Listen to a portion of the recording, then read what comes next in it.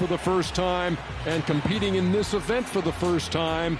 And depending on what Steph does, he doesn't even have his jersey tucked in. He's just out here just walking around chilling. This is a guy that made 105 I don't believe that in a though. row. I don't believe that Reg, was a what real is Mike. Conley thinking, Reg? What is Mike Conley thinking over there? Like, hey, Reg said, who's shooting for second? I did my job. Okay. Oh, he put the pressure on. Oh, the pressure's on Steph now. Oh, Oh, pressure on. Oh. That's only the money ball out of the first rack. Oh, he's back on. He's locked and loaded now. right, got too happy. He got locked and loaded. He got locked in. He Got too happy. He got locked in. Yeah, but he's got to make one of these uh, three balls, too, though. Oh, there it is. Okay. Is that what you'd like to see? So he's sitting on nine.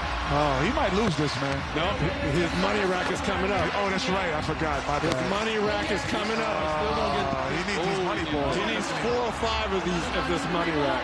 He's still going to get Oh, 15 with the Mountain Dew ball. He's still getting 31. Come on now. Let's see it. 28. 28. This see, this is a heartbreaker for Utah That's fans. 23 going to the last rack. He's got to hit them all. No, he doesn't. Not all of them. Oh, He can't miss now. oh, he got to make this. He gotta make got to this. tie.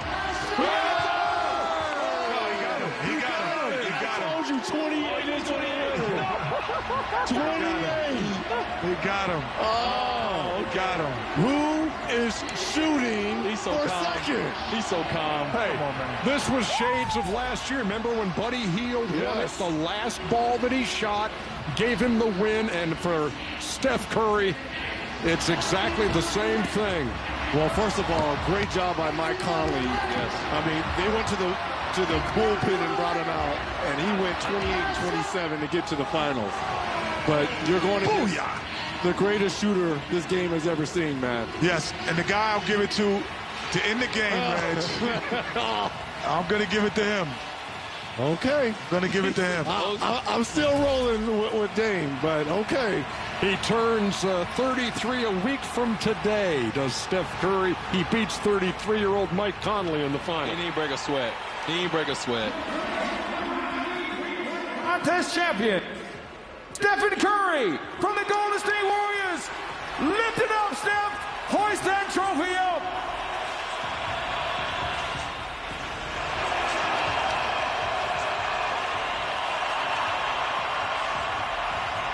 Once again, Allie LaForce.